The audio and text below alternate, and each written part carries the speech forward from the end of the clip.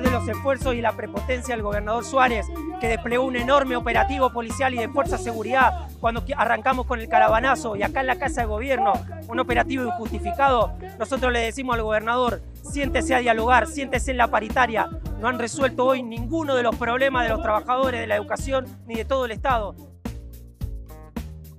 Representamos a los compañeros estatales que están trabajando en el, en el punto más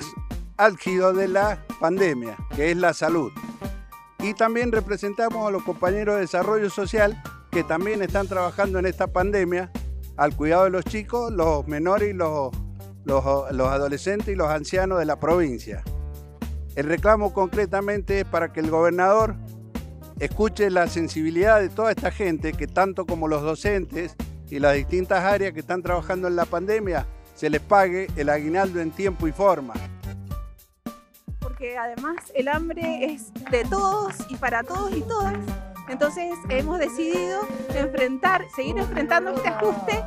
eh, poniendo eh, lo que hay que poner, el cuerpo en la calle. Así es que, bueno, estamos acá todos unidos y unidas para hacerle em, estos planteos al gobierno y exigirle que ya abre, reabra las paritarias y que cumpla con el aguinaldo en forma y tiempo, que es un derecho ganado por un montonazo de docentes que han luchado por el mismo.